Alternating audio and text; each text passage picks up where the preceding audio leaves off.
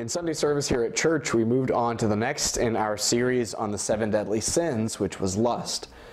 And in the service, I said that for me, I understand lust to be a habit, a habitual way of turning people into objects in our lives. And that most times, those objects, to be valuable, need to be perfect, unchanging, and really only existing for my pleasure. It's walking through the world imagining that the people and institutions that I relate with really have to be there for me and never be anything different than I want them to be. For me, that restricts my ability to be in right relationship, which is what Unitarian Universalism is all about. So, what we're interested to know this week is how you get yourself unstuck from those moments when you realize that you're treating a community of people or an individual like an object for your pleasure.